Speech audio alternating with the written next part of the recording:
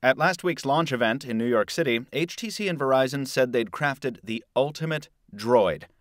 Does the brand new Droid DNA live up to that lofty assertion? Let's find out. I'm Michael Fisher, this is Pocketnow, and this is our full review of the HTC Droid DNA.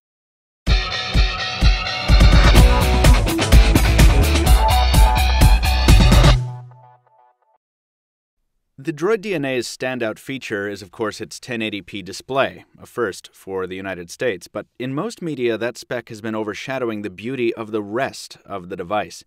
HTC said they designed this phone to resemble a muscle car, and that's apparent in its perforated, red accented side panels, clean lines, and aggressive styling overall. As we've mentioned in some earlier comparison videos, it doesn't have a hint of phablet in its nature. This is very much a smartphone, and it feels like it in the hand. The weight is perfect, and the build is slim and clean, with a boat shaped crescent design making it sit very nicely in the palm. The size does create a problem or two, notably in one handed use. We like that HTC has gone taller without going wider, but that creates a real challenge in thumb swiping the notification bar. Pressing the top mounted power standby button also isn't the easiest of tasks given its awkward positioning and almost non existent physical feedback. We wish HTC had placed it off to the side. On the back is the typically understated HTC branding dead center of the non removable back cover, above which is the prominent 8 megapixel camera lens with flash, as well as a nice surprise a rear mounted LED notification light so you don't miss out on notifications if you put your phone face down on a table. Down below, there's Verizon's 4G LTE branding, reminding us of the 1.5 GHz Qualcomm Snapdragon S4 Pro humming along inside, and the Beats Audio logo above the speakerphone, which has its own dedicated amplifier. Back around front, the curved Gorilla Glass 2 of the phone's face is actually very beautiful. The edges are so smooth, they make the glass look a lot like a puddle of water about to spill over the edge, and it almost feels that way to a thumb as well. Down below the display are the three HTC capacitive buttons for home, back, and multitasking. Up above is the wide angle 88 degree lens for the front facing 2.1 megapixel camera, the earpiece, and the Verizon Wireless branding dead center. Powering on the display reveals the real crown jewel of this handset the 5 inch 1080p Super LCD 3 panel delivering 440 ppi and some insane viewing angles. It's laminated, like on the older One X, so the graphics appear to float right on the surface of the glass, and HTC claims it's 50% brighter than the Galaxy S3's display. It's hard to tell on camera, but the display really is incredible.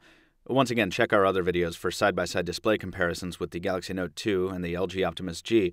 To our surprise, though science tells us we shouldn't be able to see much difference, this screen just takes it to a whole new level in normal navigation, in video, and in reading ebooks, in, in every usage mode, it's absolutely beautiful. It's the best screen we've ever seen on a smartphone. What's running on that screen is Android Jelly Bean 4.1.1 with HTC Sense 4 Plus running on top.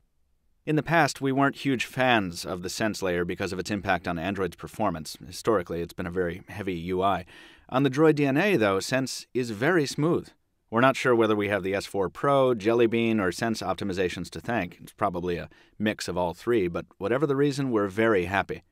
It's still possible to bog Sense down if you try. It's not as smooth as Naked Jelly Bean or even TouchWiz, but all but the most anal UI enthusiasts will find it very serviceable.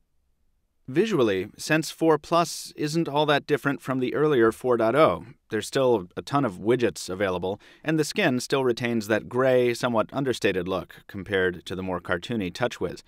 HTC has also built in new functionality to many of its stock apps, most prominently the Gallery, which now allows you to group photos by event in addition to the standard album.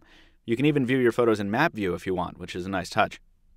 The camera software features some nice customizations as well including sightseeing mode, which lets you bypass the lock screen and jump right into the camera viewfinder if the camera was the last thing you were using when you locked the phone. Burst Shot is back, as well as the unified viewfinder, and there's some handy UI customizations to make using the new front facing camera easier. In all, Sense 4 Plus is more of what we're used to from HTC. It just happens to run without a lot of lag on this hardware, which is a great thing. Lag was a big source of heartburn for us with earlier versions of Sense, and it's nice to see it fixed. Now all HTC needs to do is build in some of the handy utilities other companies have adopted, like the function toggles in the notification bar, which we miss dearly from our time with Samsung and LG devices. During our test period, the Droid DNA delivered solid performance in terms of day to day responsiveness, data speeds over LTE, voice clarity, and general utility. Most of the things you need a smartphone to do, the Droid DNA does very well, and of course, it looks amazing on this display. Speedwise, Verizon's network was a little inconsistent in the greater Boston area, but we averaged a very respectable 11 megabits down and almost 5 megabits up during our test period. Reception was good, both in cellular and Wi Fi modes, and the software kept up with the connection speed, the stock browser rendering pages quite quickly and rendering and reflowing text beautifully. Gaming was predictably just fine. The full benchmark scores can be viewed in our full review at pocketnow.com, but they back that performance up. Voice calls were clear and crisp, and the stretched body of the device made talking quite comfortable. We're not sure if the Beats speakerphone amplifier engages during voice calls, but the speaker delivered one of the loudest and clearest calling experiences we've had since our days with Nextel phones. We were frankly disappointed in the Droid DNA's camera quality. HTC told us at the launch event that the optics were the same as those in the One X, but that tuning had been improved on the software side. Well, we can confirm half that. The optics do look to be the same. Pictures in good lighting outdoors actually come out pretty nice, but put the device in mediocre lighting conditions, and that quality just evaporates.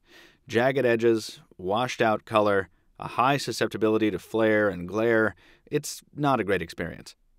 Video is pretty solid, with excellent macro performance, though the audio is somewhat tinny and the white balance autocorrect timing is about average. We've definitely used worse smartphone cameras, but we were hoping for more given the caliber of this device. On the other side of the equation, the front facing camera, which I'm using to shoot this segment, delivers on its promise to bring a best in class experience. That may not be the highest bar to clear, but it's certainly nice to see a manufacturer taking this neglected feature seriously. Many folks expressed concern about a 2020 mAh battery powering a 1080p display, and that's valid. The Droid DNA does better in this regard than we expected it to, but considering the battery isn't removable, power users unwilling to carry a spare charger will want to take care when considering the DNA.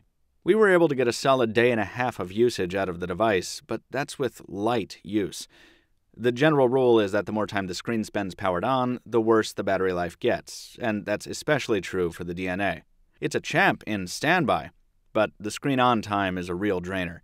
With light to moderate use, you should expect the phone to get you through the day.